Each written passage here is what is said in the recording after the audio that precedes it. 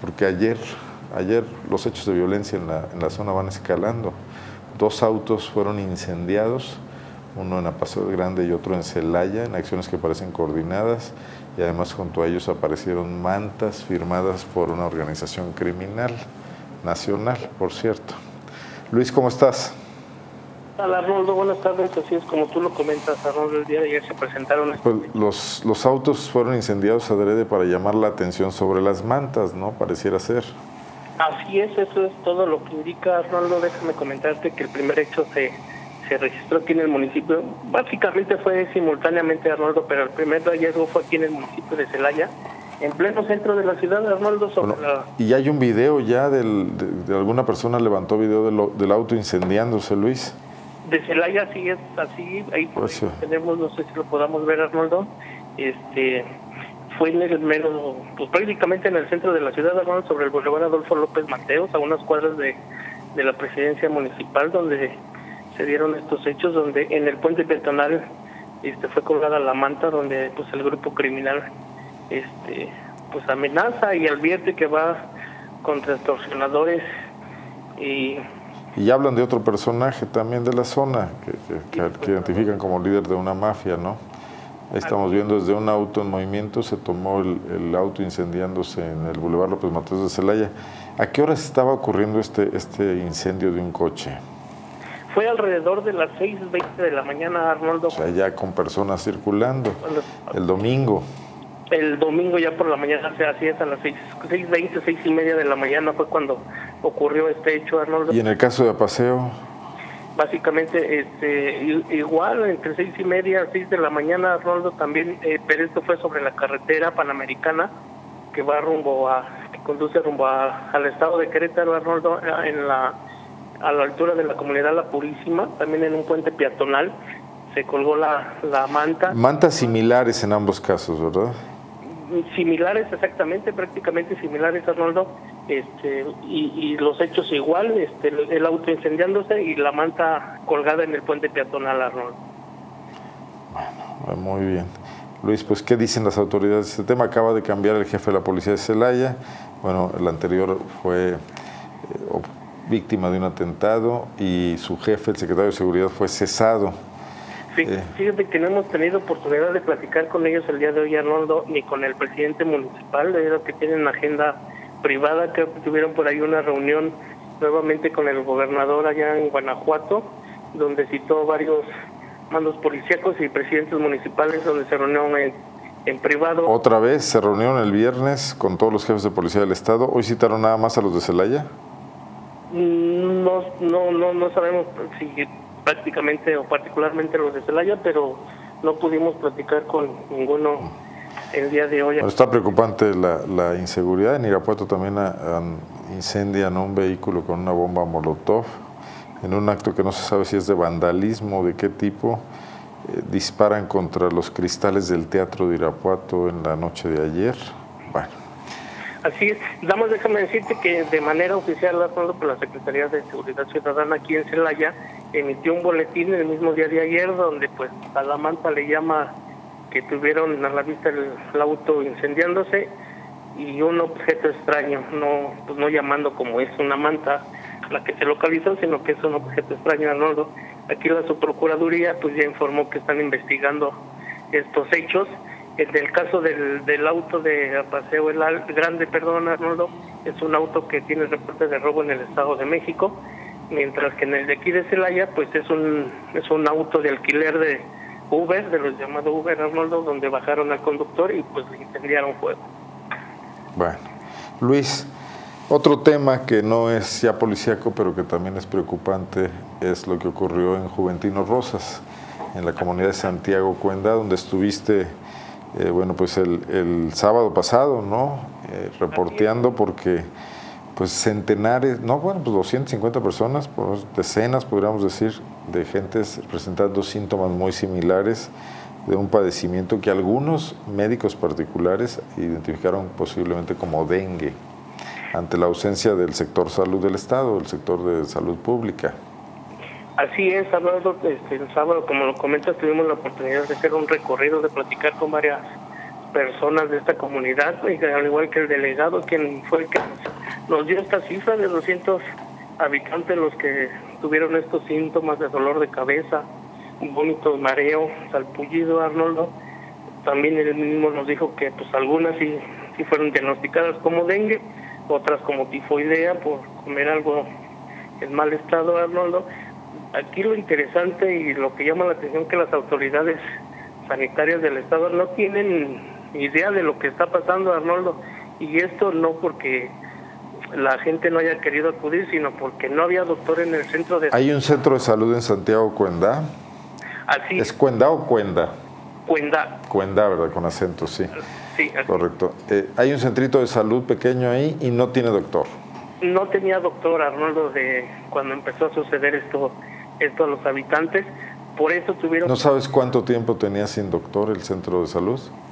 Nadie sabe, Arnoldo. Este, le preguntamos a los habitantes, pues sí decían que tenían 15 días, ven otros 20, este, prácticamente a ciencia cierta no. ¿Y está cerrado? ¿No hay ni siquiera enfermeras o algún otro tipo de personal? Fíjate que ya, ya hoy lunes y desde el viernes pasado mandaron a un nuevo doctor Arnoldo para que extendiera la ciudadanía, pero platicando con la gente decían que pues que ya había sido muy tarde, ya toda la gente había acudido a, a, a médicos particulares, ya habían gastado unos hasta cuatro mil pesos, Arnoldo, en, en las medicinas, en la consulta, y la Secretaría de Salud no, tiene ciencia cierta cuánta gente es, ni el municipio, porque pues prácticamente no, no fueron quienes nos atendieron, Arnoldo. ¿Tienes algunos testimonios, verdad? Por ahí tenemos algún inserto, Arnoldo. Vamos a escuchar algunos de los testimonios, las personas con las que platicó Luis García en esta comunidad. ¿De cuántos habitantes, Luis Santiago Cuenda? Mira, este, el delegado... Eh, es la mayor de Juventino Rosas. Es la más grande de Juventino Rosas. El delegado nos comentaba que ya le están pegando a los 10.000, Arnoldo. 10.000 habitantes, no, es cualquier eh, lugar, es una comunidad que es más grande que muchas cabeceras municipales de municipios pequeños, o no tanto, y el centro de salud estaba cerrado aproximadamente dos o tres semanas por falta de médico. Y vamos a escucharlo.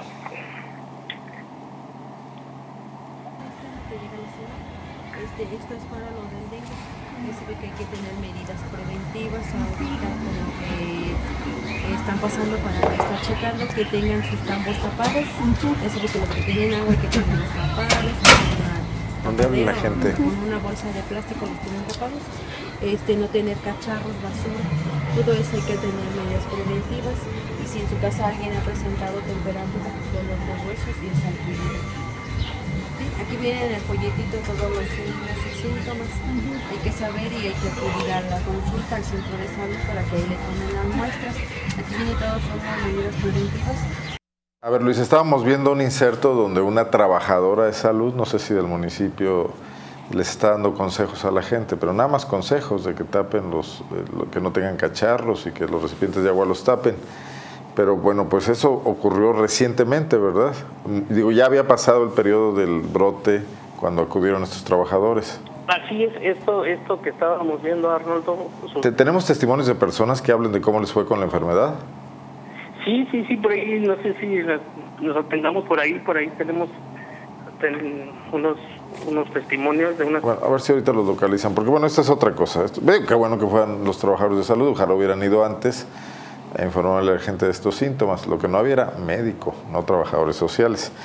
Eh, bueno, te mandaron una información por la tarde del sector salud. Dicen que pues, no tienen noticias de que en Santiago Cuenda haya habido ningún brote de nada, que hay enfermos de dengue a 5 kilómetros, dicen. Así es, Arnoldo. Este, ayer pedimos información a la Secretaría y fue lo que nos mandaron. Este, tú tuviste oportunidad de leer ese comunicado básicamente es cuesto, que dicen que están trabajando en la prevención, lo, lo que vimos en las imágenes, pero a ciencia cierta nos dan una cifra de cuántos fueron las personas que, que padecieron esta... Vamos a escuchar ahora sí a una de las personas que sufrieron algunos de estos malestares. Sí.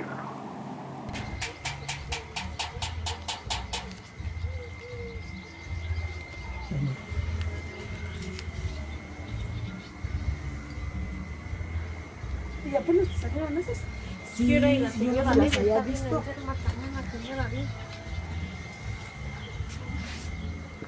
¿Cómo te había dicho? No, hasta ayer que lo miré. Y dije, ¿qué sabía nomás? Yo vengo del centro de salud. Estamos pasando para que tengan medidas por aquí teníamos campos de tapados y este Muy bien, se, se- se alcanza a escuchar algo de un niño que parece que está enfermo. ¿Tú platicaste con algunas de estas personas, Luis? Así es, este, nos comentaban eso, este, que pues, empezaron a sentir estos síntomas, este, y, y pues esto desde un mes atrás, Arnoldo, aparte de que no hay médico, dicen que siempre han padecido esta esta problemática ahí en la comunidad, eh, y aparte de que los viernes, los sábados y domingos no hay servicio médico en el centro de salud, Arnoldo. Precisamente por eso comenzaron a acudir a médicos particulares a Juventino Rosas, en la cabecera de Juventino Rosas, hasta el municipio de Villagrán y Salamanca, Arnoldo. ¿Cuánto tiempo haces de Cuendá a Juventino Rosas?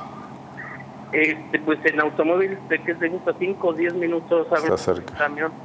En camión pues un poco más, este, pero pues hasta tales horas porque tú sabrás que en las comunidades no, el transporte público Sí, no es sí, sí. como la cabecera municipal. Correcto, Luis. Bueno, pues muchas gracias. Eh, igual estaremos pendientes. Digamos que lo fuerte del brote ya pasó, Ya pasó, más porque la gente se atendió con médicos particulares. Hoy tuvimos oportunidad rápidamente de comentarte con hablar con el presidente municipal Serafín Prieto al respecto, Arnoldo. Dice que que, esa- que bueno que él sabe que lo que originó esto es el piquete de un mosco, no sabe de dónde vino este mosco y que por la Secretaría de Salud es la responsable quien tendrá que decir qué es lo ¿Y él le reportó a la Secretaría de Salud lo que estaba pasando? Sí, efectivamente, él después de que se empezaron a dar cuenta este, de estos síntomas, de estas enfermedades, este, pues pidió apoyo a la Secretaría de Salud, pero no saben cuántas, Arnoldo, te repito, no saben cuántas ni, ni qué personas porque no las atendió el, el sector público. Bueno, correcto. Tanto dinero que gastamos en el Seguro Popular y cuando hay emergencias brillan por su ausencia. Tenemos un nuevo secretario de Salud, ya le preguntaremos que, cómo ve estas cosas. Luis, muchas gracias por la información. No, nada más rápidamente, Arnoldo, Dime. dejo comentarte otros hechos violentos el día de ayer en el, en el municipio de Acámbaro. Ana Cámbaro, sí. Pues, eh, fue encontrada ejecutada de dos balazos en la cabeza, Arnoldo, está sin identificar. Una mujer, Una mujer, sí, sí, una mujer, Arnoldo, este, esto en, el, en, la carretera a la altura del troque de la que conduce a la comunidad del Chamácuaro, ahí fue localizada esta mujer. Y ya por la noche, Arnoldo, un ataque a balazos a, a elementos de la policía municipal, donde pues afortunadamente no, no hubo heridos. Este, esto en la, en la calle Pino y calle Morales, cuando los oficiales estaban haciendo su recorrido de vigilancia, no hay detenidos tampoco, Arnoldo. Este, y esto fue lo que sucedió el día de ayer en, el municipio de Acambaro. se suma eh, este ataque a policías a lo que ha venido ocurriendo preocupantemente en el Estado, en Celaya, lo que ocurrió con el comandante, en, en Salamanca también han sido agredidos policías, ahora en Acambro por fortuna no hay víctimas, pero así están las cosas. Luis, gracias por la información. Gracias, buenas tardes. Bueno, antes de despedirme, nada más le informo que hoy se presentó a la presidencia